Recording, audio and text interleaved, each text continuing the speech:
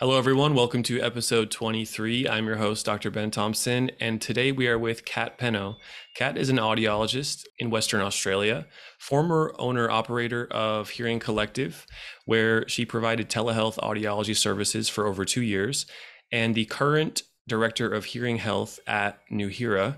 Kat, welcome. And I would love to first ask you to please go into details about what you learned during those two years with Hearing Collective and performing telehealth services. Cool, thanks. So, good morning from my end, and thanks for having me on the show, Ben. I love what you're doing and the content you're creating and the energy you're putting out there. It's really positive and favorable for everybody. Um, Oh, yeah, Hearing Collective. What a blast. I don't know how you feel with your business, but it was a great upward learning curve and really different from what anybody in our industry was doing in general, especially in Australia. It was, I would say, I had a lot of learnings. The first one was that there is a lot of distrust between clients and hearing healthcare professionals. And that made me really frustrated and upset and a bit more motivated to put a good message out there about us as healthcare professionals, especially as audiologists.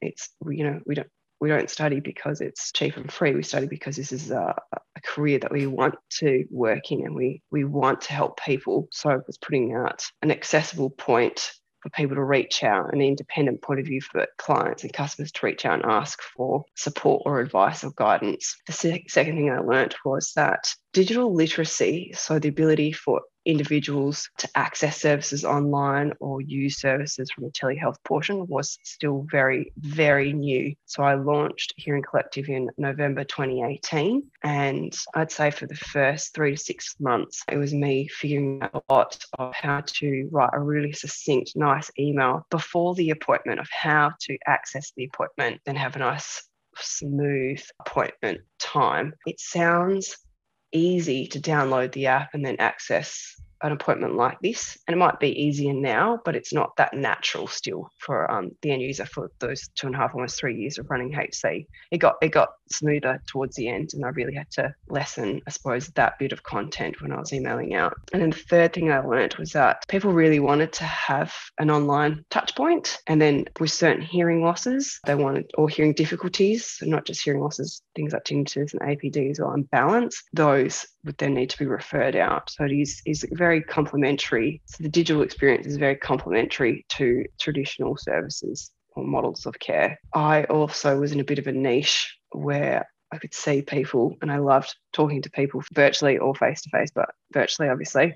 And I had a, quite a few big companies come to me in the consumer electronic space that wanted to consult and so I spent my time between both virtual consultations and then consulting. And consulting I preferred. It was a less energy draining. And I'm sure a lot of um, healthcare professionals out there who listen to this can we might be in agreement that it is we give so much emotionally whether it's face to face or virtually. And so to have a full day of appointments i started to reduce from five days of appointments down to three and then to two or two and a half because i did find it too much. We may have heard the term zoom fatigue. Fatigue is real. Yeah, i need to have that break and, and step away. So yeah. there was good lot of good learnings from a business sense but then from um, personal sense of what services or healthcare looked like to me in the future was becoming a bit clearer. Absolutely. I've followed you on numerous podcasts where you've been a guest, and I wanted to bring you on as a guest here.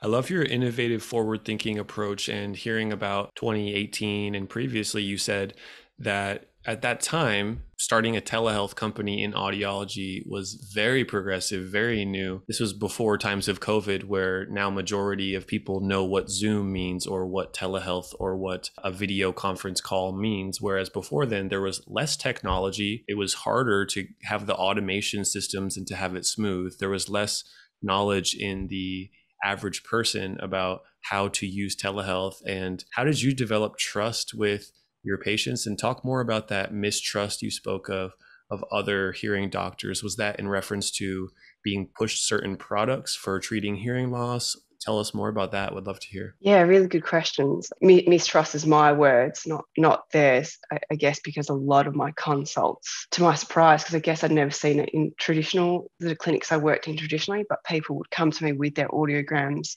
already with confirmed moderate severe hearing losses predominantly and say, Oh, um, I saw someone and they said I needed these hearing aids. What do you think? And I'd say, Oh, okay, well, you know, let's take a step back and go through your journey and create a relationship. And then I'd ask them what they would want and what they thought. And then, yes, we got to the point where they, they would understand that they do need hearing aids. And it's giving them, I think, a little bit of extra time to give them that the service that they need.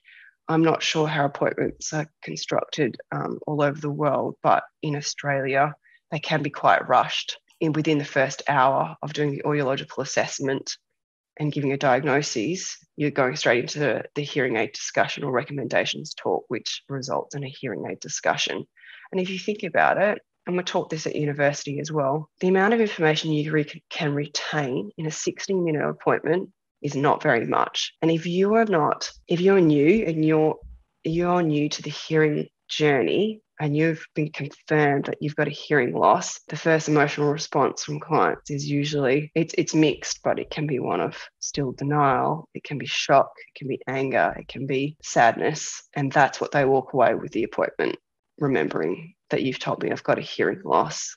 And then they might look at their audiogram and and you've written down three or four hearing aids and the prices and go, I I can't buy those hearing aids. So that it's a little bit of the emotional processing and then this feeling of hang on, I want to go back, but my next appointment I was told is going to be the hearing aid confirmation appointment. Which one would you like? Or I'll call you. And so the individual I found would be almost scrambling to find all this good quality information online. I was um, I felt really fortunate that I had a lot of um, professionals refer to me as well from all the brands in, in that uh, here in Australia, which I was really grateful for. I'll, some people I knew, some people I didn't. So I think over time, as you build that that awareness of what service you're doing and then that might go back to that clinic. I didn't sell products, so my time was paid for in, in, terms of or in regards to services. Mm-hmm. And then there was that that trust. So that's that part. And then in regards to your first part, the technical portion, I think I'll answer this because I went down a bit of a, a rabbit hole there. It did become smoother towards the end. Be, before COVID, well, in 2018, I was really like, I'm not really sure. I knew what I wanted to achieve with Hearing Collective in regards to building up awareness of audiological services and that being you know everyone for me i want people to have when they have hearing loss or hearing difficulties or balance issues to think audiologist as their first point of call but it was still a little bit of a rabbit rabbit warren or hole to get to us. People think back pain, they might think physio or chiro. People think heart issues, cardiologist, you know, ear, any ear or balance disorder, audiologist straight away, not one or the other. I want people to come to us, we're the trusted healthcare professional, and then refer out or or service within as as needed. So those were my ultimate goals with Hearing Collective, and yeah, it was a really good learning experience along the way. Did I answer the first part of your two part question? You did very well. Tell me more about during your sessions. What were the main reasons people were seeking help? Why would they go to you for an independent opinion as opposed to learning it themselves online or taking the word of their clinic audiologist or going to another clinic audiologist? Why would they, in your experience, go to an independent telehealth provider to review data? Talk us through how that went because I'm in that space as well, working with clients who have tinnitus and hearing loss and looking for that independent objective opinion. And you've done it. You've been you did it for years. So any other tips or any other takeaways you had? Yes. So that as well was one portion of clientele that came to me clients who are already on their hearing journey who needed i think between you and i and and everyone who's watching or listening they might be able to if you google hearing hearing loss troubles difficulties hearing in a cafe you are bombarded with a lot of information and the biggest issue, I think, is first of all, there's no brand awareness around anyone. There's no, when you think um, running shoes, you might have a brand that clearly comes to mind, really personalized as well. Uh, when you think for yourself, Ben, surfboards, you might have a brand that comes to mind. But when people think hearing loss, there's no brand that comes to mind at, at this stage. So all these pages pop up and you go, oh, who should I go to out of all these ones that have popped up on the page? Mm. And when you do, some of them have pretty good information, but it's not enough. So I think there's information fatigue out there where clients go, okay, now now I know a lot, or now I know too much, and I'm not going to make a decision. I've been that's there. Very common in yeah for everyone and in in people in clients accessing our services. So there's a pain point there. I have Um, so much information that I don't know what to do with it. Can you make this simple for me? Hundred percent. So that that's one client aspect, and then so they come to you, or they would come to me and say, "Kat, I've read this and that. I've seen my audiologist. I've seen an audiometrist. They've told me this. I've re- I've googled this. I've spoken to my friend who lives next door who's done that. I've gone to my local club and and I've I've heard this." It's bringing the pieces of the puzzle together and then pre- painting a clear, succinct journey for them and building that that confidence or trust. And then people would come back to me sometimes. I thought this the hearing aid would work like this, and it was it was sort of nice because I didn't access any hearing aid software uh, Mhm. during this time to be really just an objective point of view for these Yeah. for these. Did you see did did you see and recommend certain online products or over the counter products or products that a patient can just buy themselves? Yeah, yeah. The field was still quite small then. So those clients, I would call them clients who are already on the hearing journey. And there's clients who are looking but haven't seen engaged with a professional at any point. So they haven't seen someone clinically and then come Mhm. out.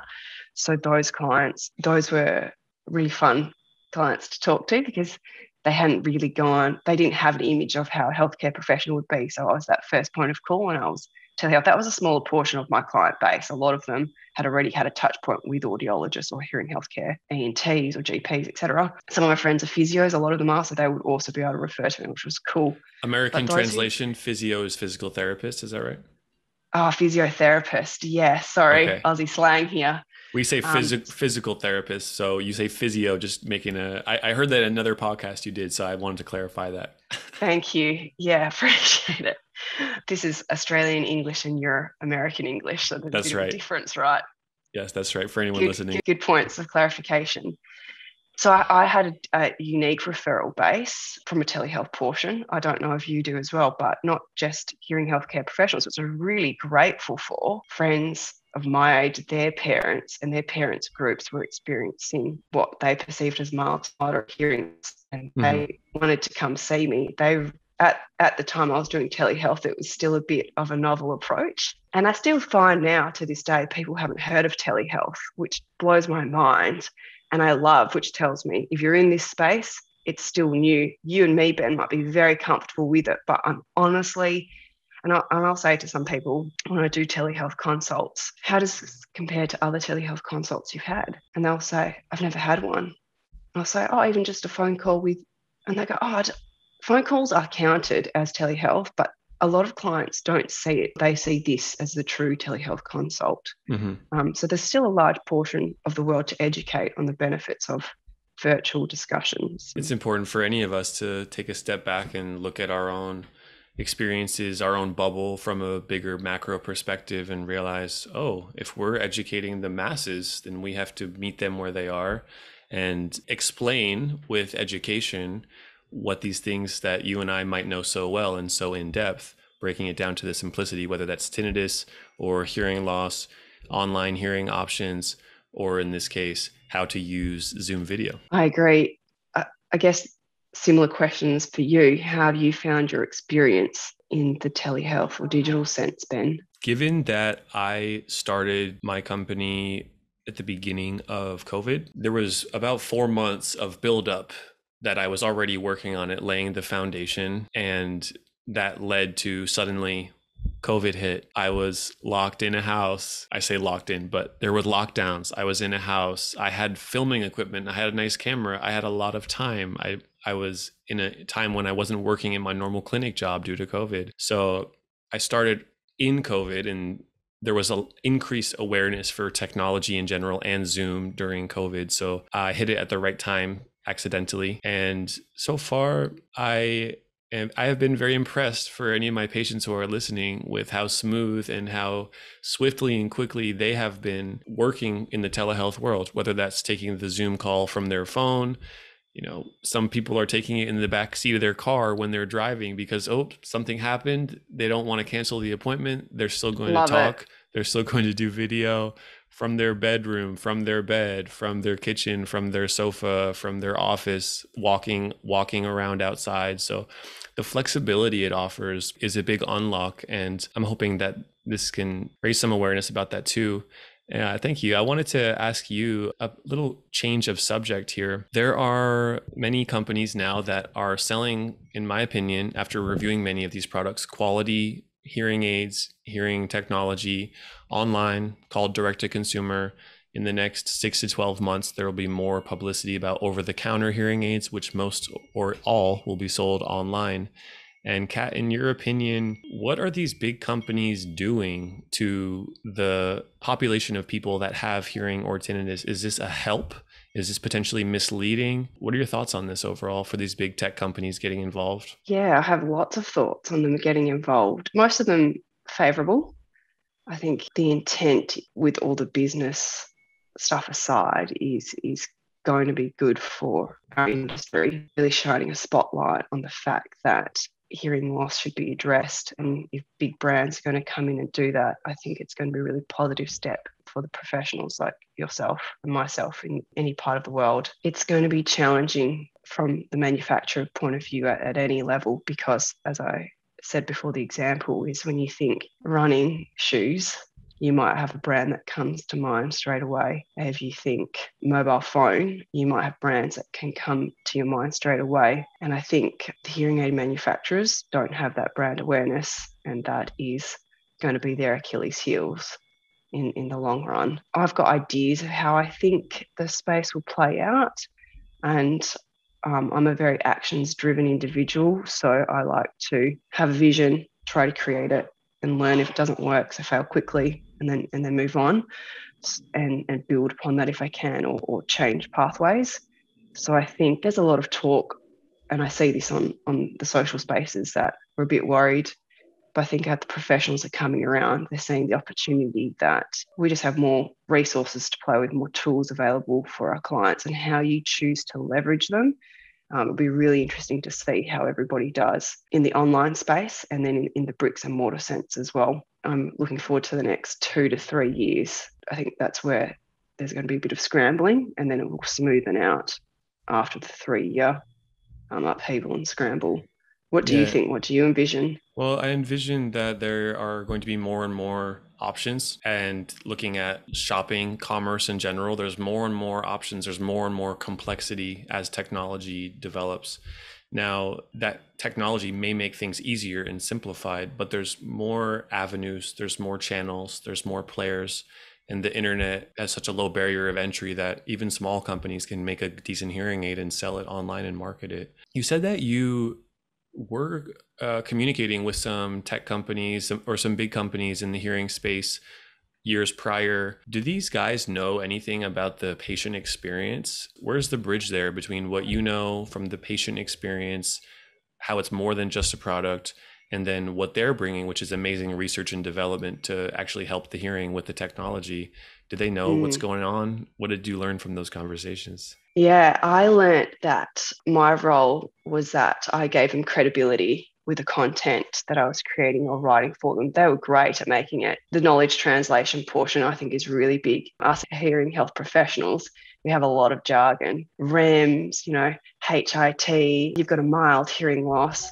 These things mean heaps to us, but to our clients and customers, they they're like, I don't know what you mean. Oh, mm-hmm. mild doesn't sound that bad. I'll just wait. So I had a um, patient. I had a patient on the podcast earlier. They described their hearing loss as partial hearing loss, and I thought, hey, that's a pretty good term. Maybe we should adopt that.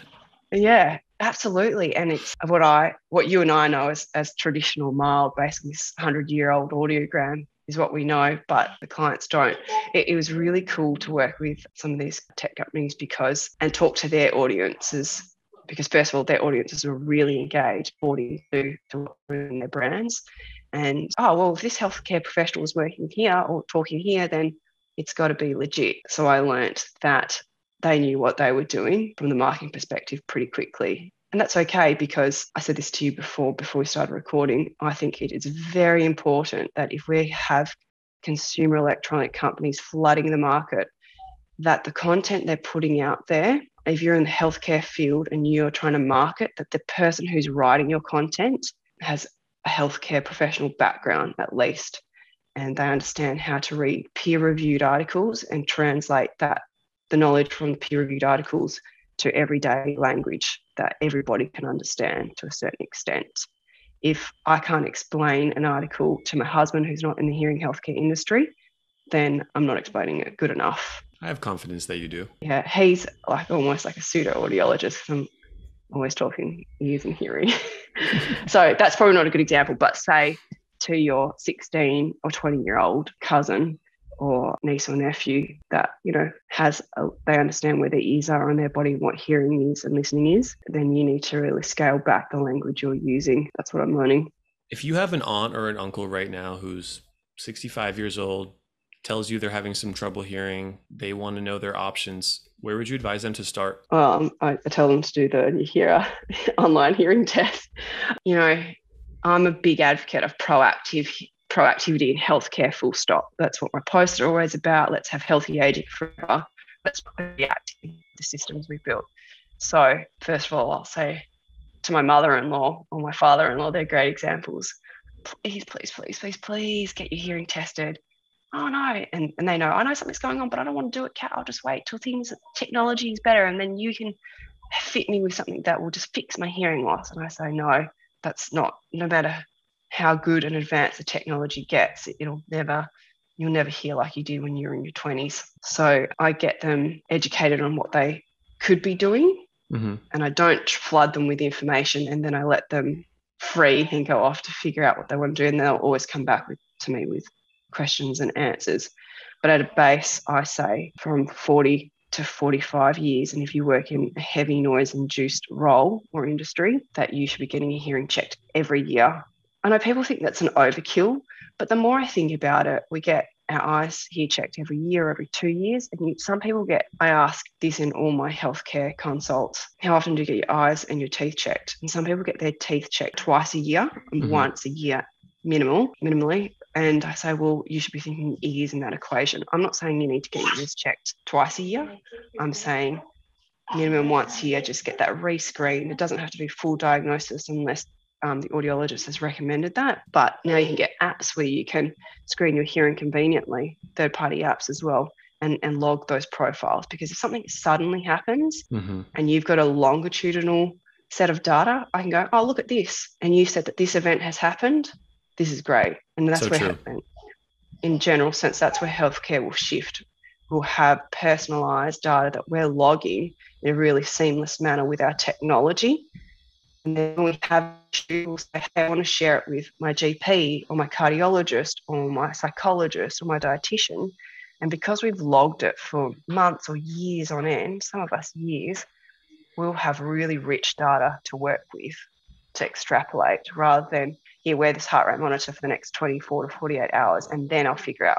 then I'll have a bit of a snapshot of what's happening. So data's gone from this to, to this. It's so true. When I see a patient and they report, I developed sudden tinnitus, I got a hearing test. It was my first hearing test. I have hearing loss. I ask them, Do you think your hearing changed? They say, What do you mean? Is it harder for you to hear people? Yes or no? No, I don't think so.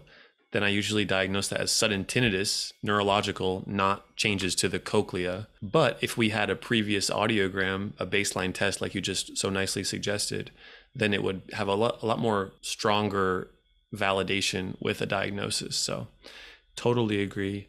As we're wrapping up here, I want to pass it to you. You're very active on on all the social platforms, so thank you because I've listened to you numerous episodes on different podcasts, and I, I'm a fan of yours. I want to give you the opportunity, whether it's your own personal, in general, or with your job with Nuheara, would you like to share any projects that you're working on or anything that you want listeners to be aware of in the next six to 12 months? Thanks for that. I'm a fan of yours as well, Ben. I really like your energy. Um, it's fantastic. And I love what you're doing in the tinnitus space um, and hopefully more in future. So, the biggest takeaways I always like to put out um, on talks now is, and this is very applicable to our clients, our patients and us as healthcare professionals is I want us to be thinking about not just what's happening right then and there for people who are in front of us, but what is the bigger picture for us as healthcare professionals? So we can think about prevention when it comes to hearing loss hearing difficulties and ear related disorders or diseases. Promotion. So, how do we promote ourselves and how do we promote the knowledge that we know to our clients and customers? And proactivity. And, and those three P's I've decided uh, I want the world to know about when it comes to hearing health, but in healthcare in general. So, if you can prevent something with your hearing, so prevent hearing loss, that's my take home. My promotion there is get your baseline hearing checks done, get your baseline audiograms done, and then screen with your third party apps or with apps that are built into products like EarID.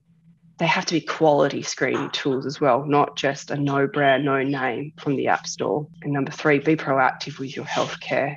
So if your client, if you're telling your clients, Ben, do one, two, and three, I want you to be following up that they're doing one, two, and three, because that seven to 10 year gap is totally unacceptable in our industry. And if people had more confidence us, understood prevention, understood promotion of the knowledge that we know the importance of untreated hearing loss or hearing diseases and ear diseases and disorders, then they would be more proactive with what they're doing. Getting hearing help when you're 72 is an unacceptable age to be doing something about your hearing hearing issues for, for all parties involved. Us as healthcare professionals in the industry, we've done a disservice to everybody in that regard. Those there's are my take home points. There's an opportunity to improve, there's an opportunity to have positive change. So thank you, Kat. Kat Penno from Australia. You've been a wonderful guest. It's been a pleasure to meet you. This has been episode 23. Take care, everyone. Bye bye.